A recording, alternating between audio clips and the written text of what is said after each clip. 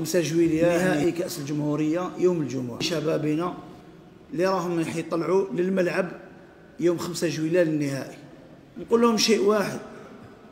نقول لهم يوم الجمعة قال فيه النبي عليه الصلاة والسلام هو خير يوم طلعت فيه الشمس.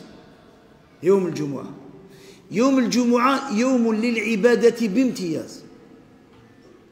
إياك ثم إياك ثم إياك وحدة. أن تقضي هذاك اليوم؟ في معصية الله. كاين الناس نهار الجمعة الحمد لله يغتسل ويجي المسجد يصلي يغتسل يجي المسجد يقرأ قرآن.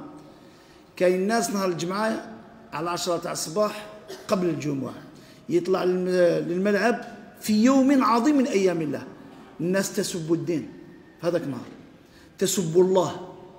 تكيف المخدرات. أبنا واش كان فأنا نقول لهاد الناس عباك باللي إنك على خطر عظيم. كأنك أنت حتى ليس بلسان حالك لكن بلسان فعلك شو راك تحارب الله عز وجل. يعني يا هذا النهار اللي هو خير أيام الله أنا راني في بؤرة معصية. بالك ربي ذاك الوقت يكتب لك شقاء أبديا لا تفلح بعده أبدا. أضعف الإيمان أضعف الإيمان. طلعش طلعت. صلي الجمعة تاعك في بيت الله. صلي الجمعة تاعك في المسجد. بالك تفرط في المسجد يوم الجمعة من أجل هذيك المباراة. والله تعالى واسمعوا إيش يقول ربي سبحانه عن اليوم هذاك النهار يوم الجمعة.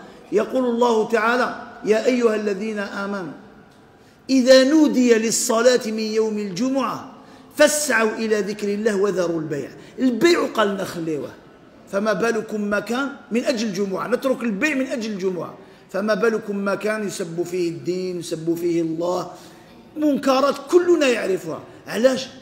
من أجل مباراة في كرة القدم. طلعت أقل قليل صلي في بيت الله. وما تجيبوناش الفتوى تاع نصليو الجمعة في سان جوية كاين الناس بداو يتكلموا. الجمعة تقام في المساجد. الجمعة تقام في المساجد. ثم عندي نداء ثاني. نداء ثاني للسلطات الجزائرية. أنا نقول لهم نحن شعب مسلم وبلد مسلم. شعب مسلم وبلد مسلم. مثل هذه المقابلات ومباريات ما تنظموهاش يوم الجمعة لأنه أعظم أيام الله هذا اليوم. ديرها بالسبت ديرها كذا أضعف الإيمان أضعف الإيمان. نظمتها يوم الجمعة.